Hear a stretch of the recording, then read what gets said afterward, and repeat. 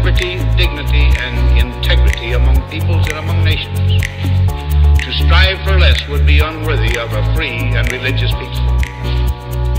Any failure, traceable to arrogance, or our lack of comprehension, or readiness to